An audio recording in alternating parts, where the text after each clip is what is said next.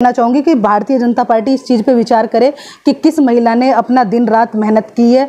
Party को यहाँ तक लेकर आए हैं। पार्टी का झंडा उठाने वाला खोड़ा नगर पालिका में पहले गजेंद्र भाटी और उनकी टीम है, जिन्होंने माननीय सांसद जी को बहुत अच्छी वोटों से खोड़ा नगर पालिका से जिता कर भेजा। माननीय विधायक जी को और अपनी सीट भी मैंने भी जब पहली बार मैं प्रधानी में लड़ी, मैं बस इतना कहना चाहती हूँ कि भारतीय जनता पार्टी इस चीज़ पे ज़रूर विचार करे। जो सक्रिय महिला है जिसने भारतीय जनता पार्टी को समय दिया है भारतीय जनता पार्टी के लिए काम किया है जनता के लिए काम किया जनता के दुख सुख में खड़ी हुई है मैं उसके साथ में तन मन धन से बिल्कुल खड़ी हो जाऊँगी। लेकिन अगर मेरे बराबर अगर किसी ने काम नहीं किया है तो भारतीय जनता पार्टी इस चीज़ पर भी विचार करे। टिकट का दौर टिकट का वक्त बहुत नज़दीक आ गया है। जी। बहुत करीब है आज हम इंटरव्यू कर रहे हैं शायद एक या दो दिन में टिकट की डिक्लेरेशन हो जाए। जी। रीना भाटी क्या उम्मीद लगाकर बैठी हैं पार्टी से? क्योंकि आप ही की पार्टी में एक बड़ी लिस्ट मैं देख रहा हूँ। मैं नाम पढ़ रहा था मेरे पास किसी ने लिस्ट भेजी है। जी। मेरे सूत्रों से एक लिस्ट आई है उसमें कई लंबी लिस्ट है। जी। आ, लेकिन पहली चेयरमैन जिसने पाँच साल का वक्त इस नगर पालिका को दिया है इस नगर पालिका में गुजारा है वो कहाँ देख रही हैं? देखिए, मैं तो इतना ही कहना चाहूँगी, भारतीय जनता पार्टी ने मेरा संघर्ष देखा है। मैं इस पार्टी के लिए दिन रात मैंने मेहनत की है, मेरे परिवार ने मेहनत की है और मेरे पति ने अपना बलिदान दिया है। मैंने जनता को अपना परिवार माना है और भारतीय जनता पार्टी को अपना भगवान माना है। मैंने बस इतना कहना चाहूँगी कि हर जो भी मेरे लिए आयाम आए, वो मैंने बहुत अच्छे से निभाए। दिन रात मेहनत करी है और एक ऐसी महिला एक ऐसी महिला हूँ मैं जो कि रात के बारह बजे भी आपको फ़ील्ड में दिखाई दूँगी। और अभी जो आ, मैं यही कहना चाहूँगी कि जो लोग अब आ रहे हैं निकल के वो पूरे पाँच साल कहाँ थे? उनकी महिलाएँ कहाँ थी? या मैं ये कहना चाहूँगी कि अगर आप जनता के सेवक हो, आप हितैषी हो पार्टी के तो पार्टी के लिए काम आपको पहले से करना चाहिए। लेकिन एकदम अचानक ही महिला सीट सुनते ही सारी महिलाएँ बाहर आ गई हैं। तो मैं तो यही कहना चाहूँगी कि भारतीय जनता पार्टी इस चीज़ पर विचार करे कि किस महिला ने अपना दिन रात मेहनत की है। पार्टी को यहाँ तक लेकर आए हैं। पार्टी का झंडा उठाने वाला खोड़ा नगर में पहले गजेंद्र भाटी और उनकी टीम है।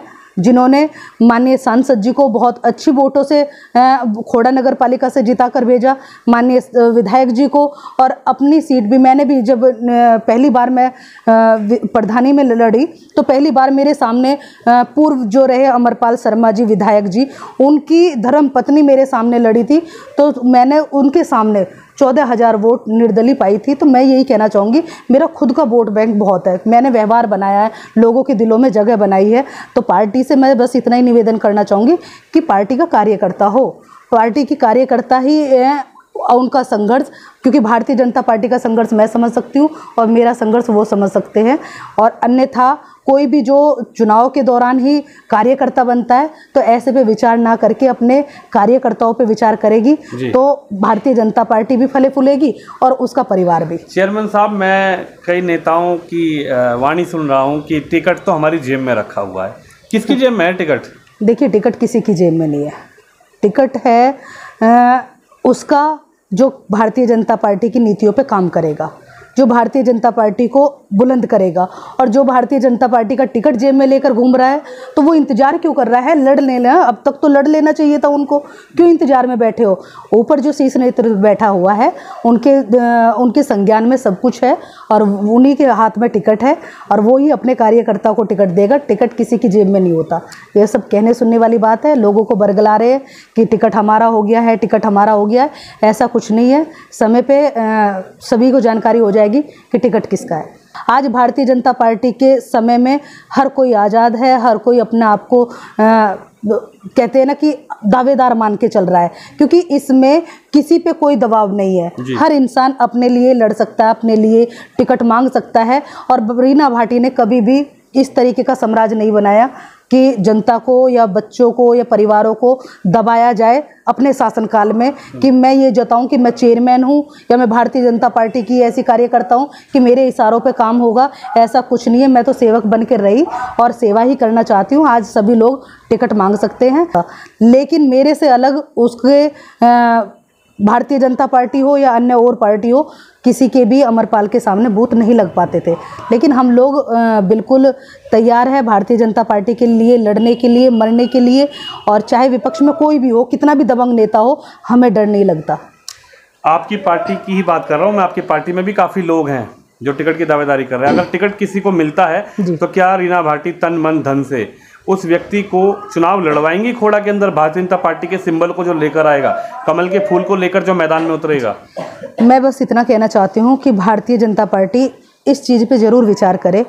जो सक्रिय महिला है, जिसने भारतीय जनता पार्टी को समय दिया है, भारतीय जनता पार्टी के लिए काम किया है, जनता के लिए काम किया, जनता के दुख सुख में खड़ी हुई है, मैं उसके साथ में तन मन धन से बिल्कुल खड़ी हो जाऊँगी।